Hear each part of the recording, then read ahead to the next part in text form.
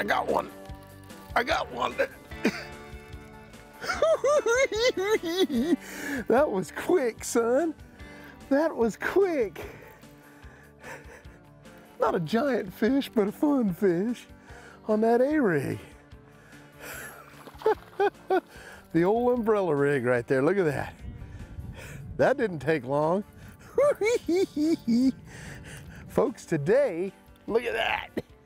We are at Bartlett Lake. And I'll tell you what, in the springtime, a lot of fun. We're in that uh, area where the fish kind of, they'll hit crawdads, things like that, but they start kind of keening on shad and bluegills and things, things to that nature just because it's that time of year where they make beds and they get up shallow and start moving up shallow. You can see what I'm throwing here. Little uh, umbrella rig works really good. I'm using uh, Keitech baits and uh, they work really good for me. We'll explain this in a little bit. We'll go down the bank, we'll keep throwing. I've, that was my second cast of the day. That was a good sign. Second cast of the day. You never want to catch them on your first cast of the day. They say that's bad luck, so that was the second cast of the day. I, I, venture to, to, to say that we'll probably get quite a few fish that are that are the male fish that are up shallow right now. Uh, with the water temperature being about 65 degrees, 64 degrees, they're all moving up, making nests, and the water's kind of, is I wouldn't say it's muddy, but it's real dingy. And so when I picked out these baits, this particular bait, I wanted something with blades, get me some flash going and a little vibration. See if we can't catch some of these fish down the bank here. You know, this time of year, one thing to always remember is uh, it's very important to put yourself in a better position to be able to catch fish in the seasons that we have. Knowing where the fish are is very important. So this time of year, when we go into March, April, May, uh, these fish are gonna be shallow. There's no sense in going out there fishing 50, 60 foot of water. Get in shallow. These fish are moving up shallow. You wanna get in these backs of these bays. Uh, they'll be in six inches of water, as shallow as you can get.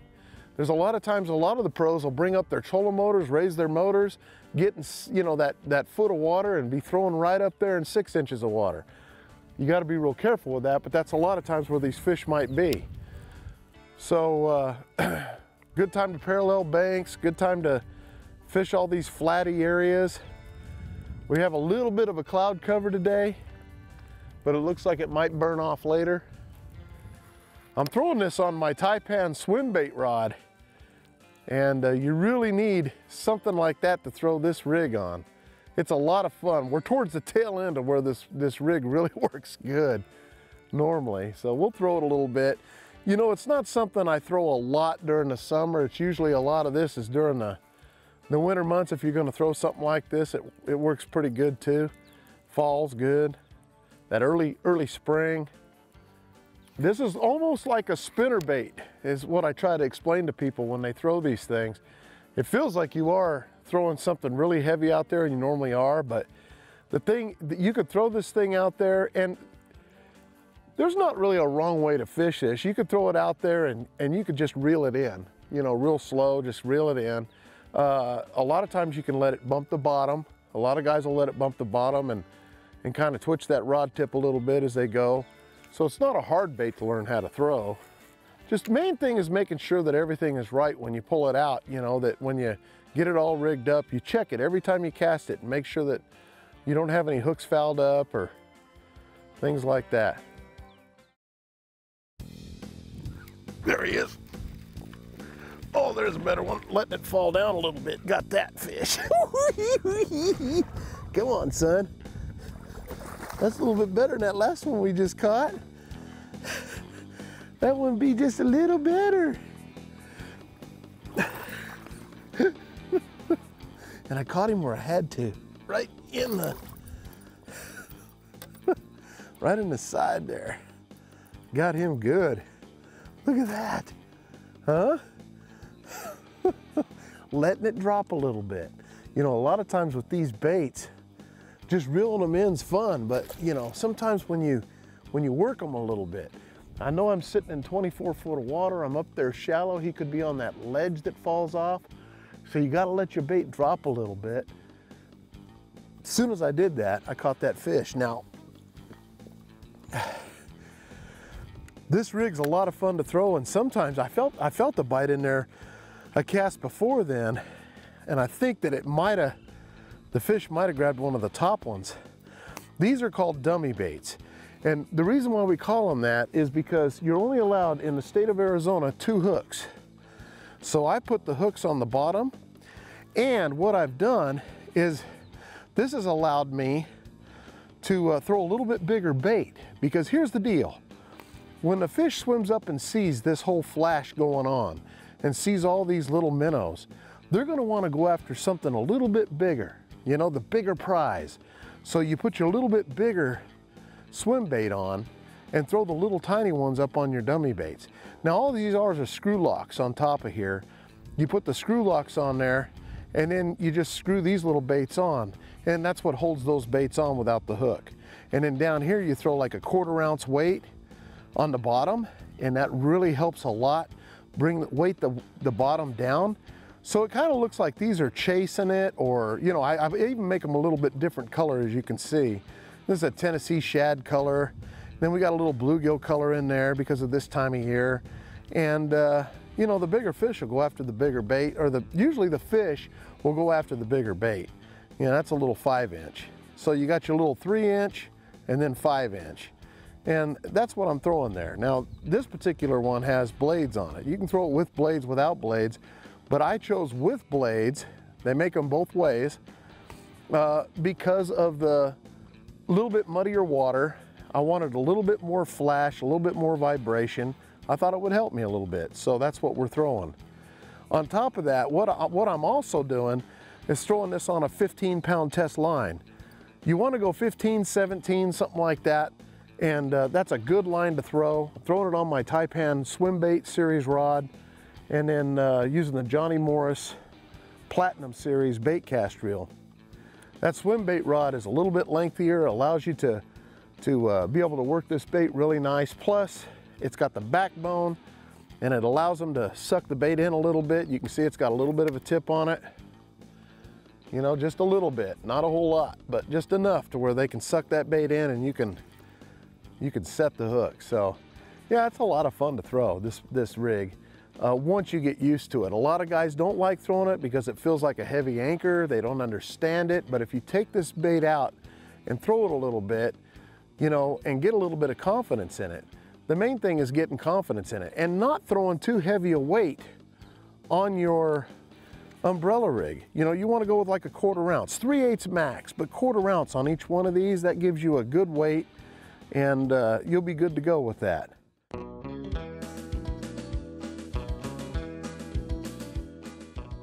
You know, for my tip of the week, one thing I think that's really important when you hit an area like this and you see these cuts like you see them, we're in a little bit steeper water. A lot of times what happens is when these bass get up and spawn, you'll have your, your males that come right up onto the edges. A lot of people forget about the middle and that's where this bait a lot of times may shine for you is getting down there where those females are sitting. So a lot of times after you fish the sides and the edges, even though this might be a little channel right in here, a little cut, always throw in the middle of them, always. Throw back there, throw in the middle, and just crank it through the middle of this channel. And you might find out that that's where some of the bigger fish are kind of hanging out, waiting to move in, especially with small cuts like this. Because a lot of times your, your uh, little male bass, especially it depends on how well it's pressured, but there you go, there's one there, right in the middle. That's exactly what I'm talking about. And so you throw right in the middle of these cuts, and you catch a fish like this. And we threw to both sides and didn't get bit. But man, sometimes they're just hanging right out there. Now this is a male fish, but still, they'll hang right out there waiting to move up. Come on, buddy. Yeah, look at there. See? We threw right in the middle of that cut, and that's exactly what I'm talking about for my tip of the week. Very important to hit those areas. Remember, the fish might spawn, they might get up shallow, the little fish might, or they may be back off in the middle of the channel, just depending on what's going on. So always throw in the middle. This ain't a very big cut. but it's very important to make sure you come down the middle of them. So you're gonna make three casts. You're gonna parallel that side, parallel the right side, parallel the left side, and then make sure you get one in the middle, and I promise you, you may just get bit just like we did. Got him. There's one right there. Swimming out with it. Little Texas rig bass. Come on, son. Oh man, and he ate it. Let me tell you. Come on, son.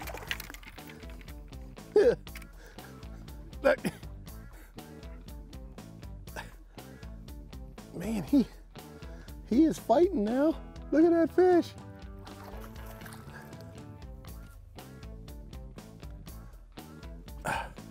Come on, son, you're done. That's one of the better ones today, too. A Texas rig bass, and he swallowed it. That is the benefit of these new baits that they have out today, is them doing that. I'm gonna have to get my little pliers out and get him loose. That's a good fish, folks. Those are the kind of fish right there. See you, buddy. he caught it a little bit deep, but we got him. You know, anytime the wind quits blowing, when you're throwing reaction baits like we were throwing, it might be time for you to go ahead and start heading to uh, Texas rigs, drop shots. When, it, when the lake starts laying flat, and that's what it did this afternoon, that's gonna be your best bet because reaction baits can be a lot of fun and then it's almost like a light switch went off and uh, the fish are still biting. But a lot of times you gotta slow down, you, they're still in the same areas, and maybe just throw a little Texas rig. This little Texas rig here is just a little craw. All I'm using is a 3 8 ounce weight. I'm rigging it the old style with a little bead and a little two aught hook. This is that Chigger, Crazy Legs Chigger Craw that I'm throwing here, made by Berkley in a green pumpkin. Pretty safe bet right there, okay? Caught a lot of fish on that bait when you got a small and compact. Now remember, Bartlett is very well known for being a great jig in Texas rig lake. It always has been, uh, even drop shots. A lot of little fish in here, but still a lot of decent good fish. But it seems like they really like that Texas rig uh, in this lake. So I went for a fail safe and decided, hey, I'm gonna Texas rig. These fish are still up spawning. They're still up shallow. We just have to do something a little bit different to get them to eat, and that's what it took right there. I'm throwing this on 17 pound test line, medium heavy action rod, and uh, you know, just as simple as that. Small compact bait. And the reason for the bead is it sounds like a little craw down there. When you get this dirty water like this, that little glass bead hitting against that, that weight, boy, they just eat that thing up, let me tell you. Fun fish. A lot of times, especially right now, we had a lot of water in the state in the last few weeks. And what happens is these lakes come up really fast. And when they come up really fast, sometimes the bass don't come up as fast with it. So if you're not seeing them up in the shallows and getting way up there close, a lot of times if you back off about 10 feet off the bank with your casts, you know, a lot of times they're sitting out there waiting to move in. So even though I caught, that last fish I caught was in about 10 foot of water, eight foot of water. Um, and a lot of the fish we've been catching, even though it's been close to the shoreline, it's still off a ways. So, you know, a lot of times you can take, if you're not catching them way up on the bank like that, take and make your cast five or six feet off the bank and work it back to you. You may not want to parallel so close to the bank where you're right against the bank. Pull yourself off a little bit and work it a little bit off the bank because these fish have to adjust as well. This lake might have come up, you know, five feet you know, in just a couple of days on this little lake. I don't know, but the thing is, is that I know that even with Roosevelt, when the lake rises really fast, a lot of times it takes a little bit of time for these fish to move up. They'll get up there, they'll do it pretty quickly, but sometimes you can catch them out here a little bit deeper. And something else to think about in the springtime, especially when these lakes come up, some of these fish might have already started making beds before the lake went up. And so those fish are gonna be sitting down there a little bit deeper. Look at this. Look at this right here. You know, there was three or four of those gray herons that were up here. And uh, evidently they must come down at a certain time and do some feeding. That tells you sometimes that they're shad. You might, a lot of times, look for those kind of birds like that actually in the water getting fish, you know, like shad or something along there. That's when this thing will really shine. a lot of times they'll tell you where the schools of shad are and things uh, when you see them feeding. When they're not feeding, eh, you know, a lot of times they're either taking their siesta or, you know, the fish just aren't ready yet. They haven't moved up. They sit around in areas where they think the fish will come up or where they know they usually feed or something. Because a lot of times I come through this area right here and they're there. They're just, there's a bunch of them right in this area. I think they come out here and they, uh, they feed when them shad move up. But uh, always look for those birds. It's very important. Uh, same thing with the grebes. You'll see those grebes, and that's another one to look for is those grebes. If you find those, those are those white birds that sit on top of the water, and they have a little gray in them, and they they're they're diving. And and if you find those, a lot of times you can find where those shad are. So they'll tell you a lot of times without even using your fish finder where those shad are. And bass will feed on shad. Go in there and catch some fish.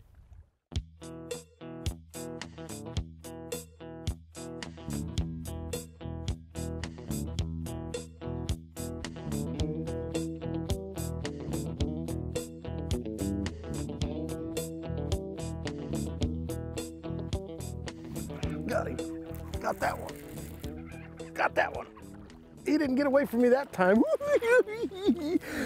yes, there we talking about, son. Little Bartlett Lake bass. he bit it and he didn't think I was gonna come back and get him. I got you, son. Come on. Oh, I got him good too. He ain't going nowhere. That's a decent little fish now. Ah, look at that. I'll tell you what, what a great time on the show today, folks. We had Bartlett Lake getting out here in the spring, having a little bit of fun with these fish.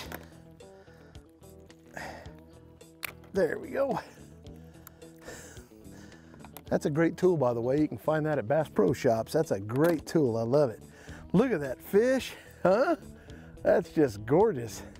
Hey, I've had a great time on the show. Remember, all's not lost, man. When you, when the wind lies down and the reaction bite goes, when you're out here in the morning having a great time, two things.